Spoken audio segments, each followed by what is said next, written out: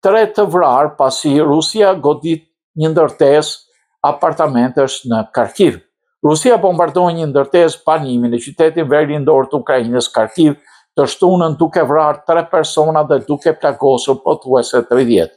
Presidenti i Ukrainës Volodymyr Zelensky postoi pamjet fasadës së prishur të një bloku apartamentesh dhe një krater jashtë. Terroristët rusë kanë goditur përsëri Kharkivin me bomba të drejtuara, shkroi në Telegram pas sulmit të fundit qytetin e dytë më të madh të Ukrainës, duke njoftuar tre të vdekur ndërsa shpëtimtarët ende pastronin mbeturinat. Ministri i Brendshëm Igor Klimenko tha se kishte 29 plagosur.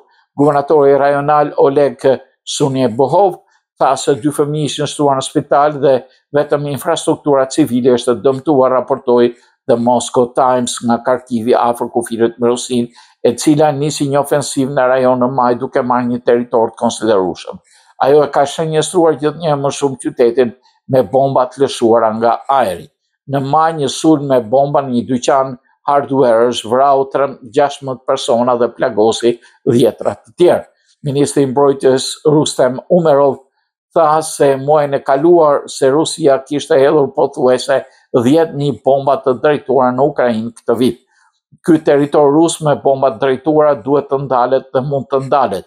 Ne kemi nevojë për vendime të forta nga partnerët tanë në mënyrë që mund të shkatërrojmë terroristët rusë dhe avionët luftarakë rusë atje ku janë, tha Zelensky.